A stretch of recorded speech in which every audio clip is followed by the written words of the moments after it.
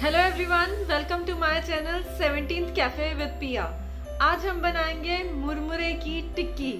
अगर आपको मेरी रेसिपीज़ पसंद आती हैं तो मेक श्योर sure मेरे चैनल को लाइक कीजिए सब्सक्राइब कीजिए और फ्रेंड्स के साथ शेयर कीजिए। चलिए बनाते हैं मुरमुरे की टिक्की बनाने के लिए। सबसे पहले मैंने बॉल में लिए हैं मुरमुरे, जो मार्केट में से आपको इजीली मिल जाएँगे। इसमें मैं ऐड कर रही हूँ दो बड़े चम्मच कर्ड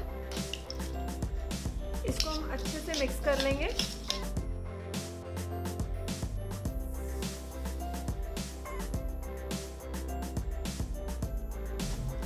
अब हम इसको 10 मिनट के लिए साइड पे रख देंगे। आप इसमें पानी मिलाकर भी इसको रख सकते हैं। 10 मिनट हो चुके हैं। ये देखिए, मुरमुरे ने कर्ड ऑब्जॉर्व कर लिया है। अब हम इसमें डालेंगे प्याज ग्रीन चिल्ली ग्रीन धनिया boiled mash potato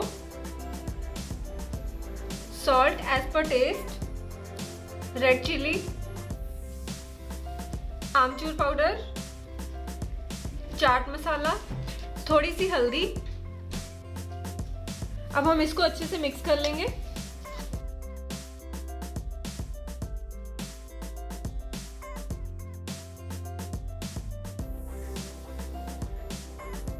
अब बाइंडिंग के लिए हम इसमें ऐड करेंगे एक चम्मच बेसन और एक चम्मच सूजी। अब इसको अच्छे से हम मिक्स कर लेंगे।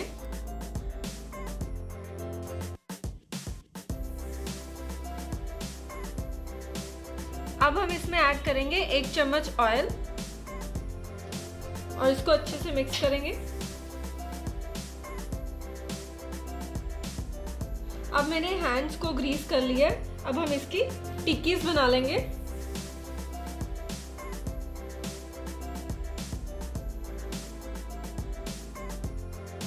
आप कोई सी भी शेप दे सकते हैं। ऐसे, बाकी की स्टफिंग की भी हम टिक्कीज बना लेंगे। ये मैंने सूजी ली है। टिक्कीज को और भी क्रिस्पी बनाने के लिए हम टिक्कीज को ऐसे सूजी में कोट कर लेंगे। और अब इनको हम फ्राई करेंगे। फ्राई करने के लिए मैंने पैन में ऑयल ले लिया है। ऑयल हमारा गर्म हो चुका है। अब हम इसमें टिक्कीज को डाल देंगे।